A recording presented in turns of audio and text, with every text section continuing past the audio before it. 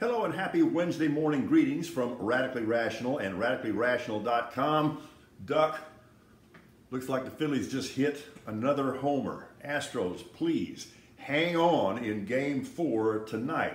All right, so the College Football Playoff Committee has issued their first rankings. There'll be five more to come before we figure all of this out. I got no gripe coming at this point. You got Tennessee number one. I concur there. Ohio State, yeah, they're playing better defense than they have in past years, so I get that. Georgia's Georgia. Clemson may be a little shaky at number four. And TCU, they got a gripe coming if they want to, but they got plenty of time to straighten this out. Frogs, all you got to do is keep winning and everything will be fine. You know, in the past, there really weren't a lot of player for player trades in the NFL, but look what happened yesterday before the 3 o'clock central deadline. We had 10 different deals. Really, some interesting things went on, and all I can say is that clearly the Dolphins are going for it right now. They made a series of very, very good moves. All right, a, a, couple of things. I want to talk about burden of proof because apparently some people don't understand the concept of burden of proof.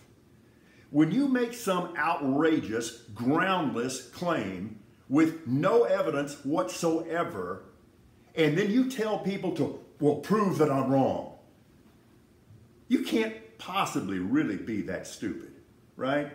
That's just not honest. You realize that it's not up to somebody else to prove that you're wrong when you make outrageous, groundless claims. It's up to you to prove that you're right. And you can't because you're not right because there's no evidence. We saw that with the big lie and now all these ridiculous tales that are flying around about Paul Pelosi and I actually had what I thought was an otherwise intelligent human being tell me yesterday, prove that I'm wrong. No, no, that's not the way this works. And finally, there are limitless reasons to oppose Greg Abbott as governor of Texas. But here's the biggest one. Yeah, we can talk about all these completely pandering, grandstanding cultural wars that takes up all of his time, but he can't run the state.